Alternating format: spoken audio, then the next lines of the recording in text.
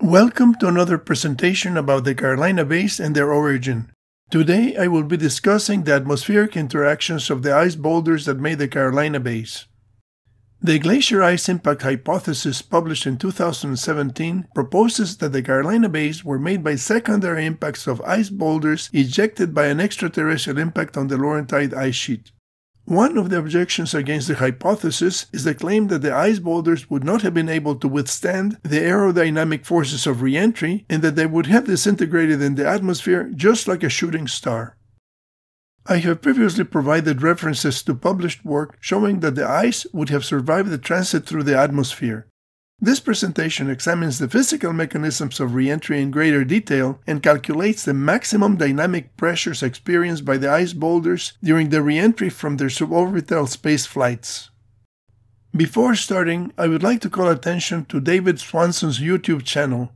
David has made some videos with interesting perspectives and visualizations of the Carolina Bays, including the air resistance encountered by the ice boulders during reentry. I have provided the link to his channel in the description of this video. The mathematically precise elliptical geometry of the Carolina bays can be confirmed by fitting them with ellipses using the least squares method. Since ellipses are conic sections, it is likely that the bays originated as inclined conical cavities or penetration funnels.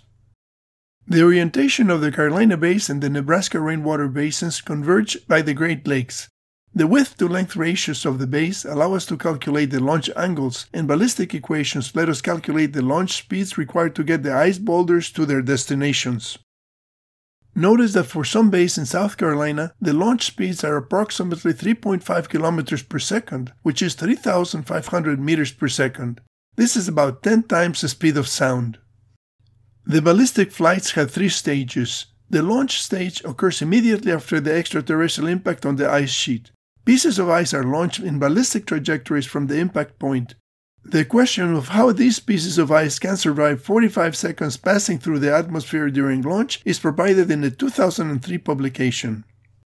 Shuvalov and Dypvik developed numerical models of extraterrestrial impacts by projectiles of different sizes.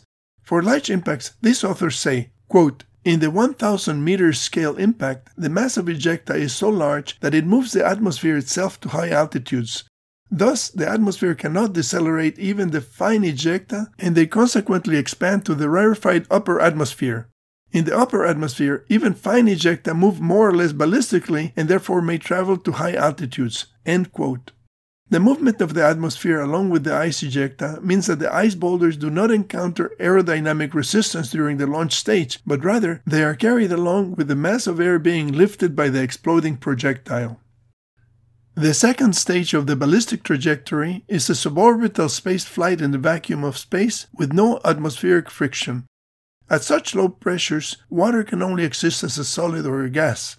Any liquid water ejected above the atmosphere quickly cools by evaporation and transforms into solid ice. Typical trajectories spend from 5 to 6 minutes in mid flight before starting re entry through the atmosphere. The reentry stage lasts approximately 45 seconds. An ice projectile encounters increasing air density as it traverses the atmosphere and its mass decreases due to ablation.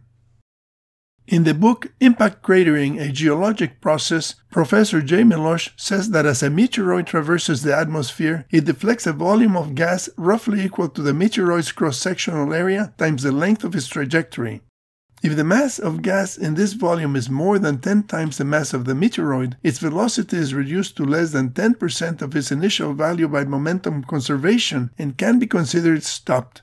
At this point, it will just drop toward the ground at terminal velocity.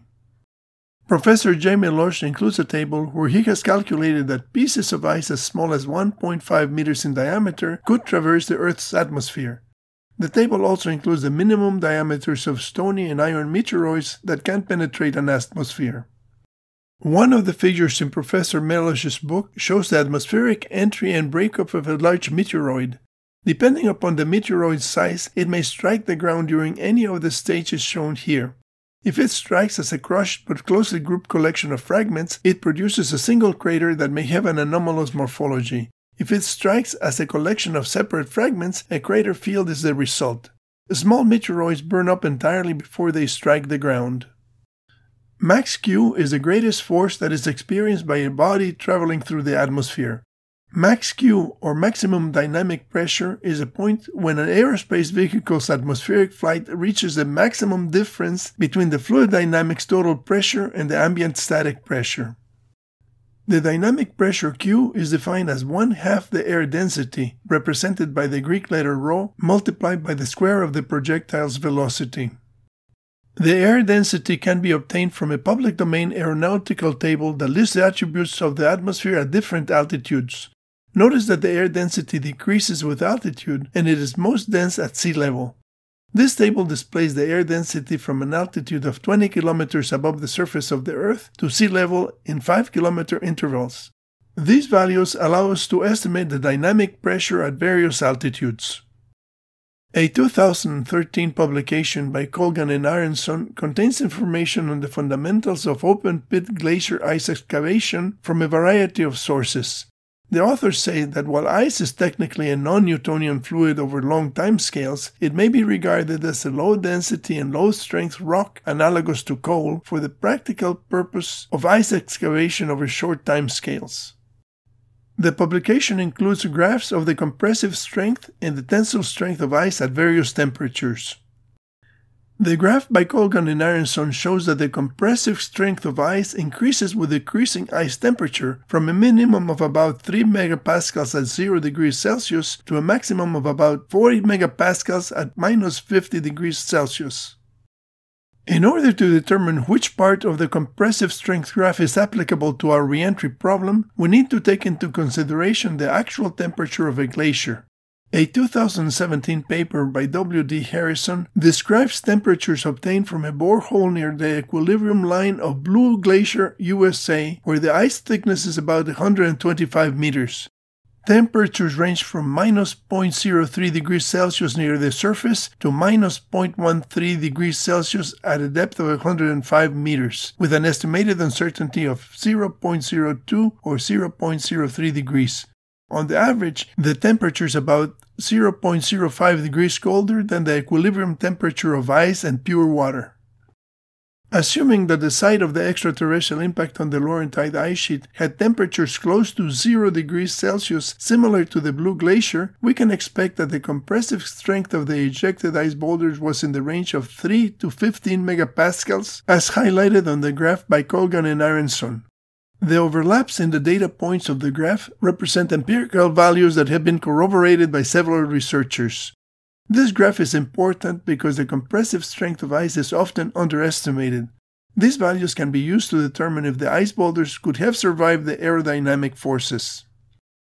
Calculating max Q for speeds of 3.5 and 4.0 km per second, we can see that the aerodynamic forces are smaller than the compressive strength of the glacier ice, which has a high range of 15 megapascals. This means that the ice boulders could have survived the re-entry through the atmosphere without breaking up. For ice boulders traveling at 3.5 km per second, the aerodynamic pressure reached approximately 7.5 megapascals at sea level. This slide shows an example of the calculation of max Q for a projectile traveling at sea level with a speed of 3,500 meters per second. The result is given in pascals and it can be expressed as megapascals by dividing by 1 million.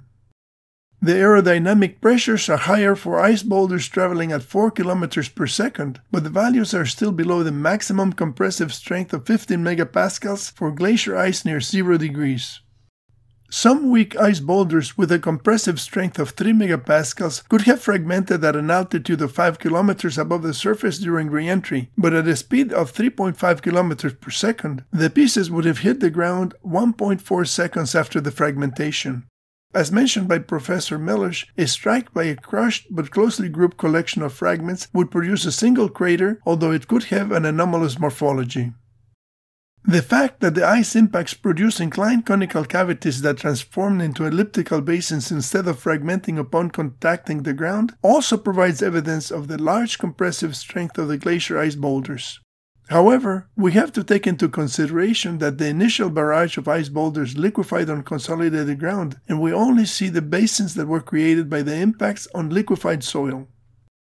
Many ice boulders survive their passage through the atmosphere, otherwise, the Carolina Bays would not exist.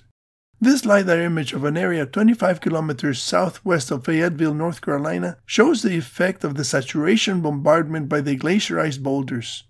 We have to keep in mind that slipstreaming would have reduced the aerodynamic forces experienced by many ice boulders during the ballistic sedimentation of the icy ejecta curtain. This would have allowed many ice boulders to hit the ground instead of just disintegrating in the atmosphere. Thank you for joining me in the investigation of the Carolina Bays and the Younger Dryas Cataclysm. The Carolina Bays should not be neglected. Ask your geology professors to discuss the Carolina Bays because they are the most prevalent geological structures in the Atlantic coastal plain. There's a link to the LiDAR visualization tool in the description of the video. My book about the Carolina Bays is available at Amazon. Please subscribe to my YouTube channel to be notified of future videos about the Carolina Bays and other scientific topics.